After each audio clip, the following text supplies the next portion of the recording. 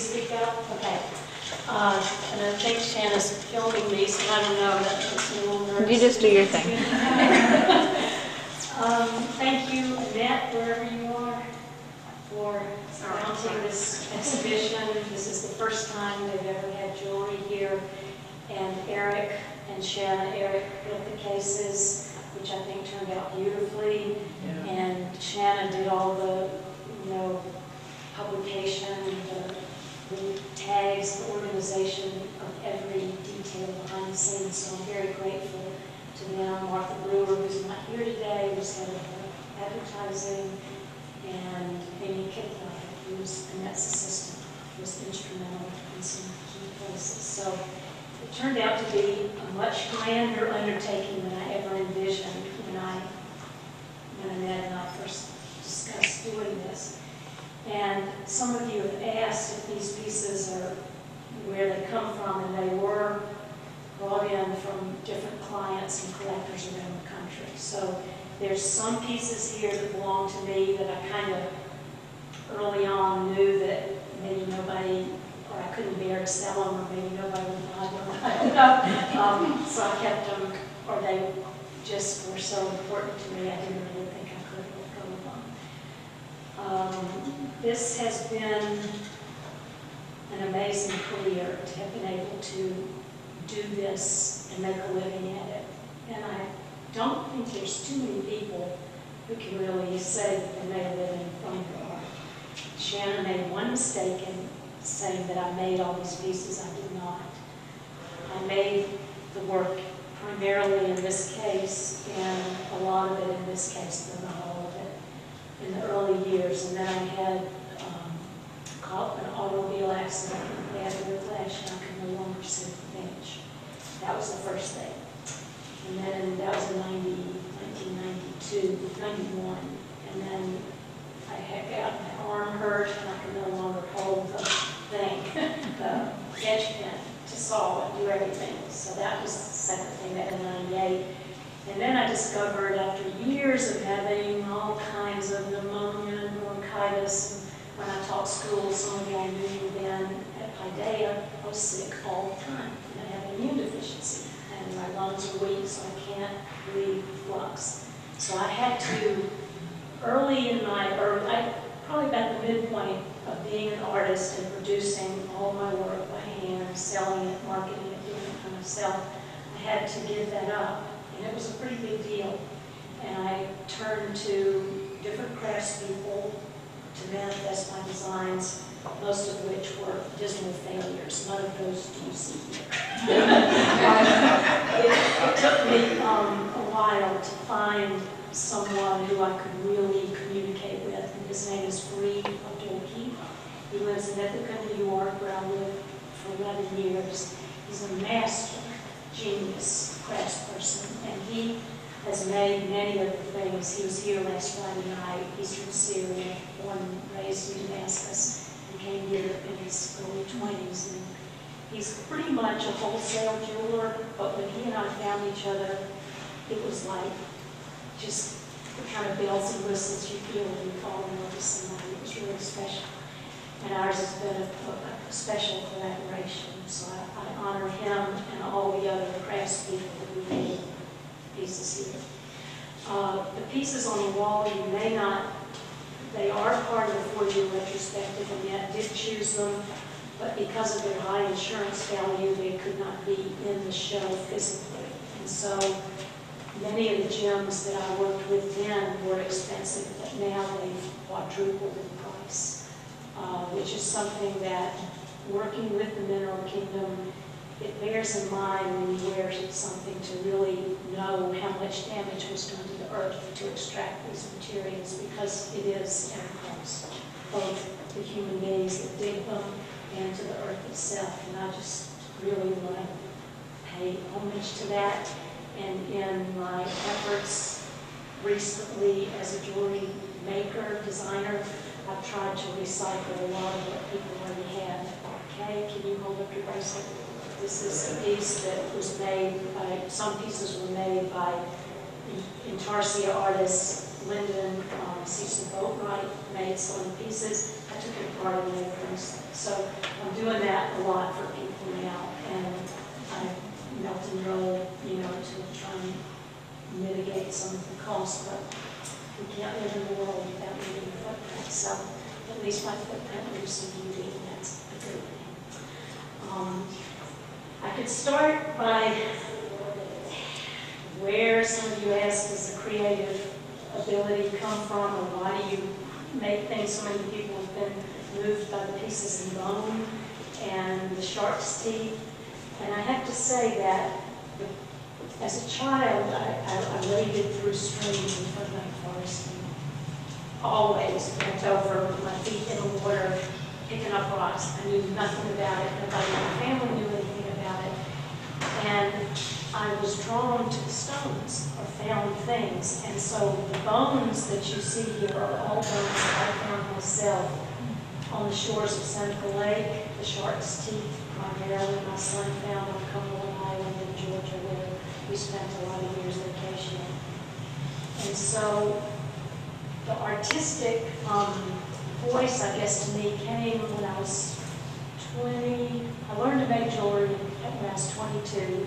I was a dancer. I was a teacher of physical education, which call movement education at my day. And there was um, an opportunity in Boston. I stayed at a girlfriend's house.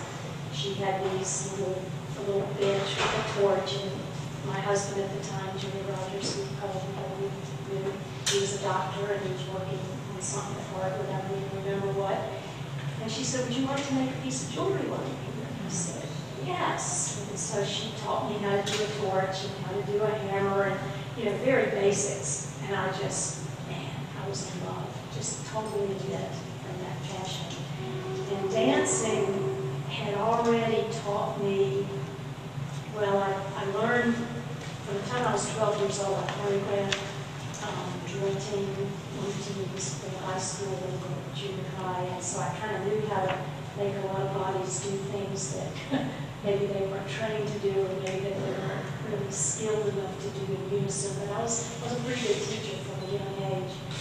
And so that by the time I got to college, um, Leslie Morris, who ran the dance unit, took me under her wing, and Kelly Morrison at the time was her husband, took me under his wing later, and I learned a lot about cadence and proportion and rhythm.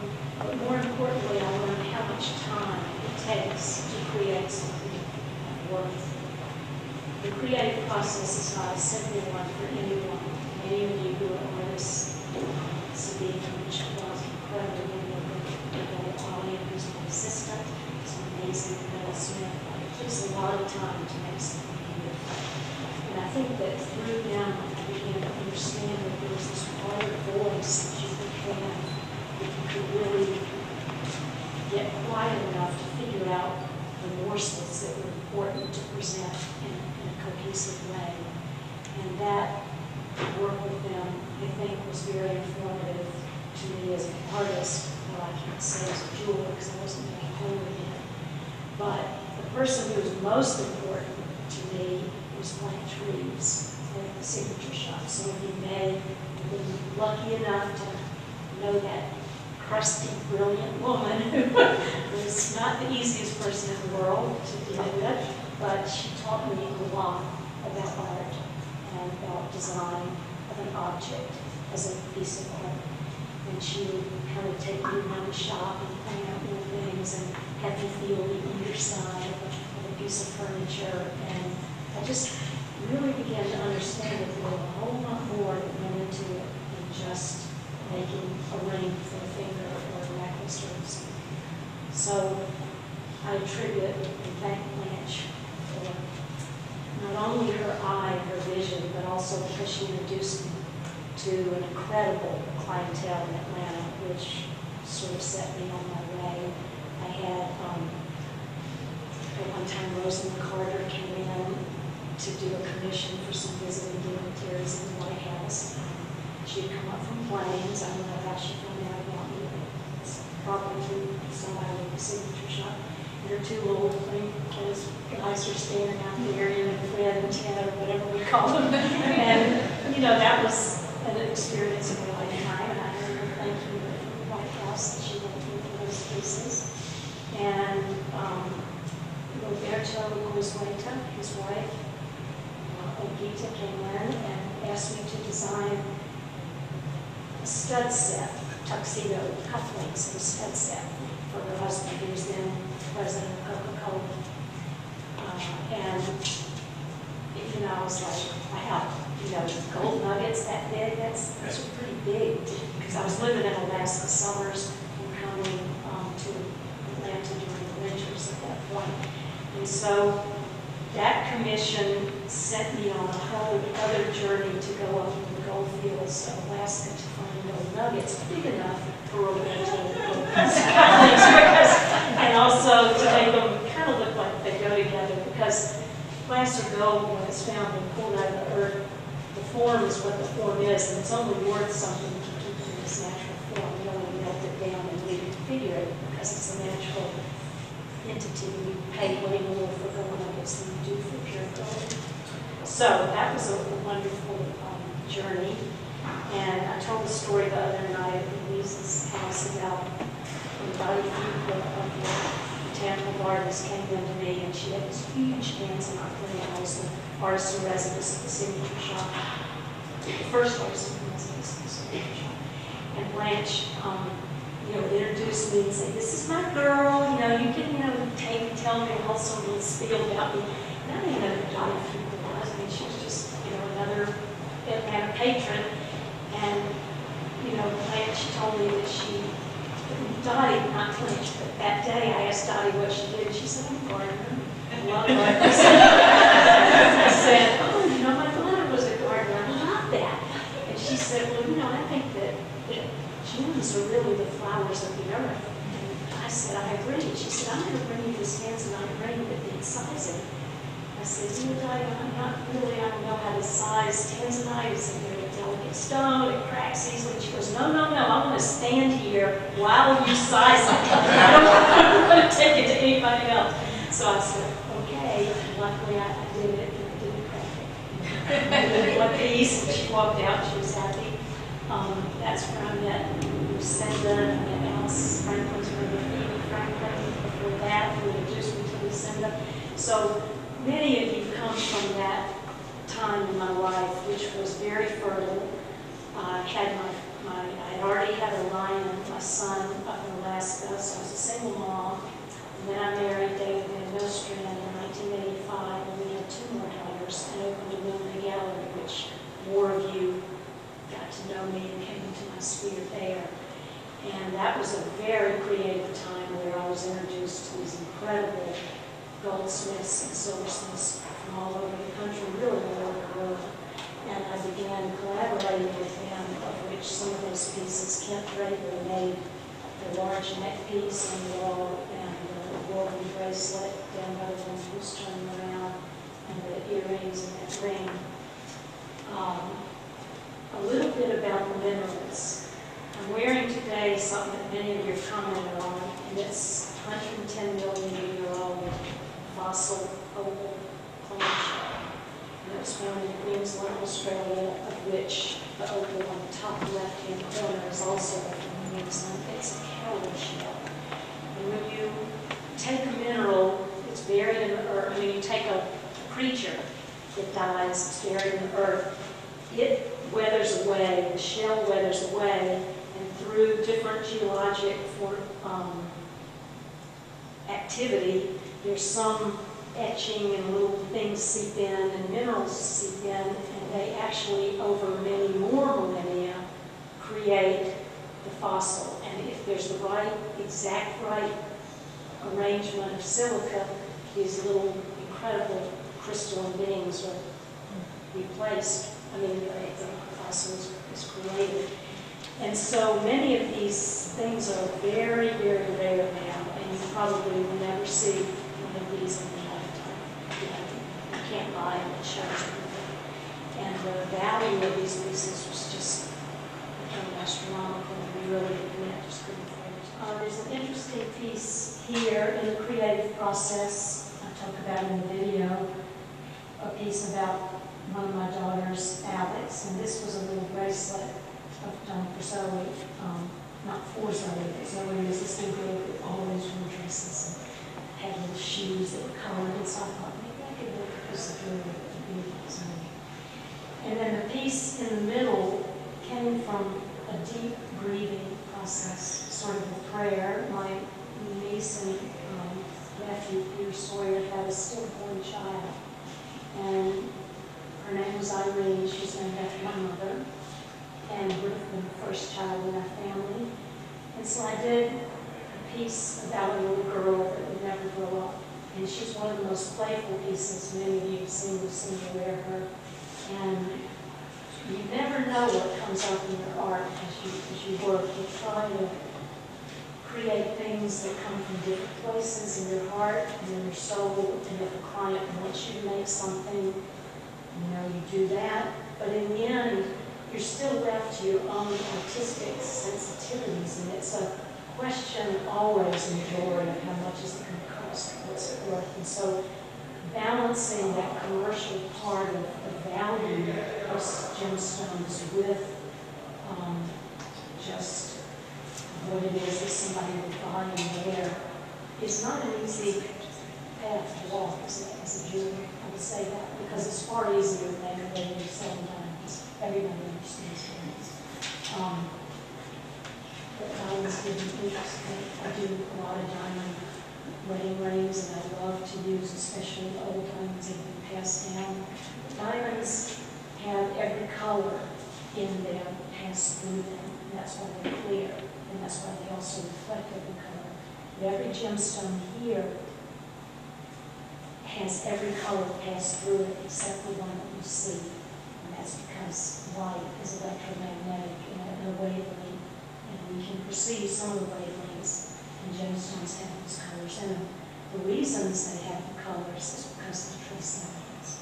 And trace elements now have gotten a lot of hype because they're in our blood, we have to get enough of them in all of our supplements, they're in the wine we drink because they're in the soil, and they go on and either taste one way or another way, or touch on the lid, or, you know, it's- elements are very important.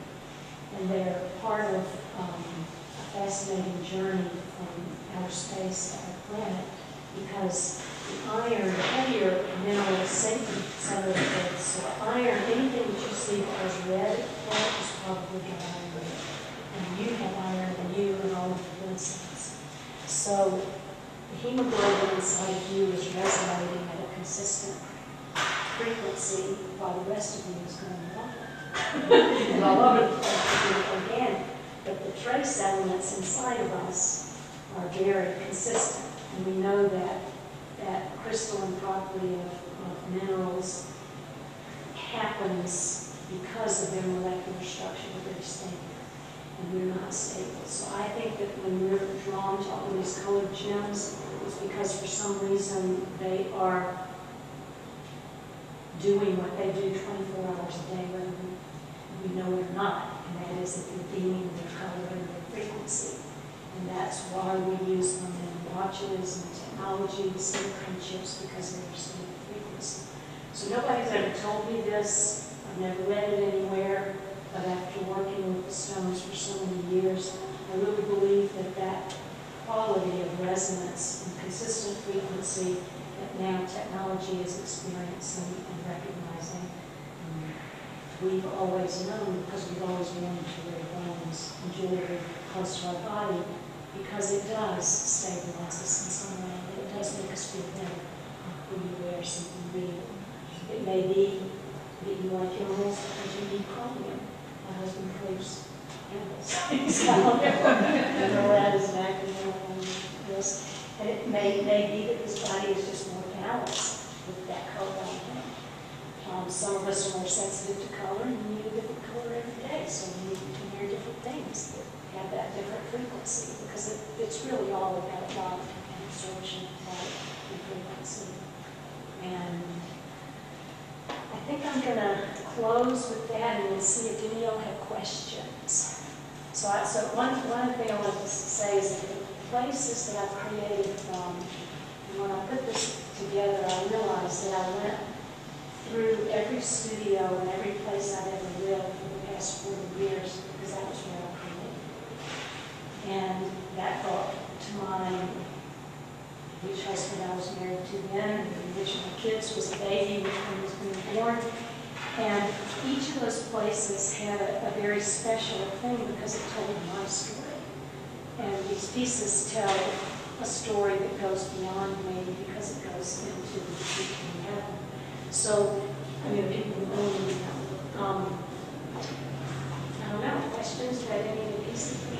Well, yeah, along that same line, it must have been interesting for you to see uh, these pieces you hadn't seen in a long time, your, your, your children. Were there some special surprises? Totally.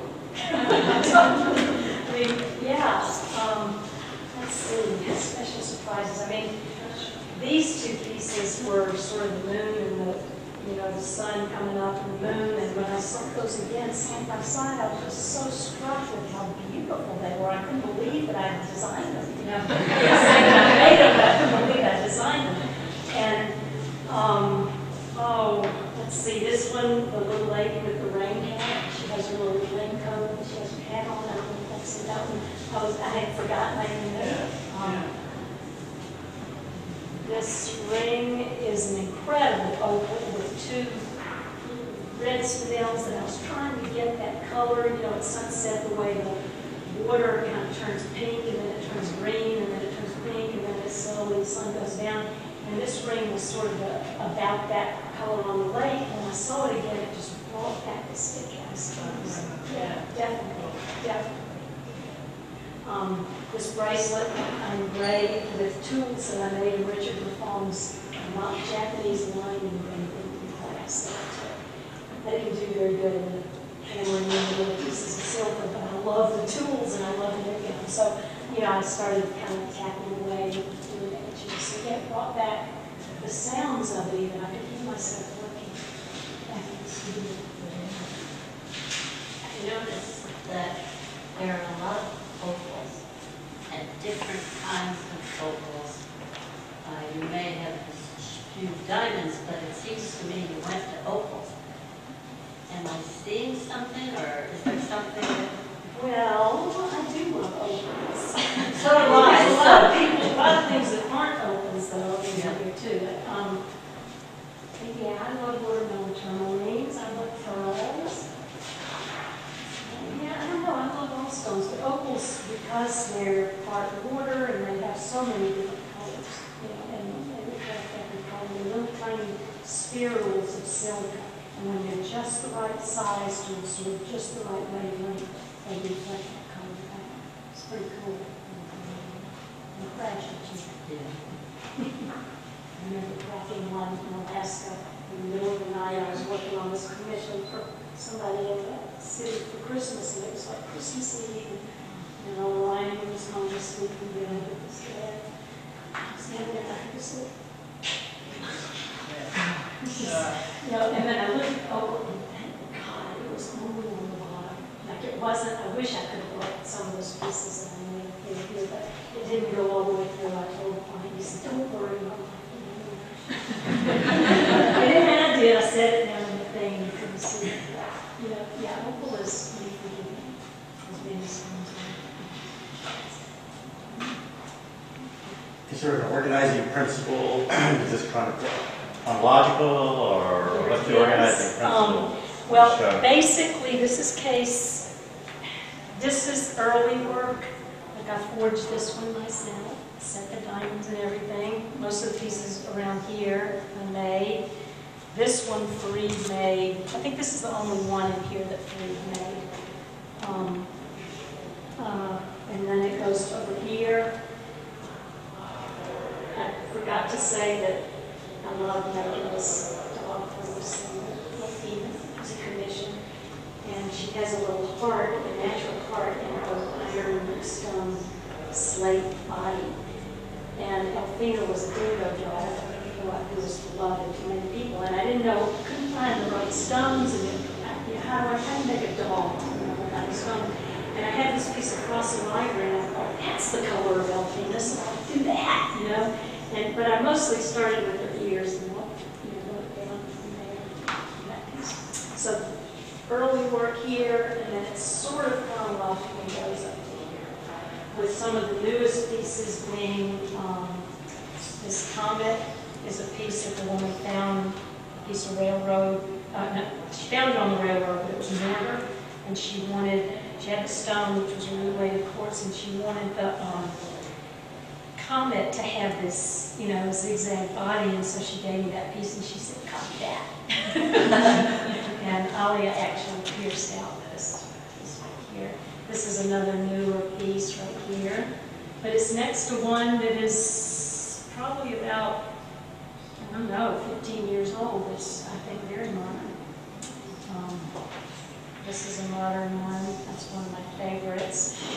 This, these are zircons, which you should all, should all take a peek at. Not the long bar, those are golden uh, beryl. But the zircons are the one mineral in our planet that they now use to date the Earth because the crystal is neither changed by heat nor pressure. So it can go down in volcanic activity and come up again and it's still, or, or, or travel on medias out through the solar system because of change. They usually are smaller, not new that Um, You know, these are the that, is pretty, gold news, which pretty cute.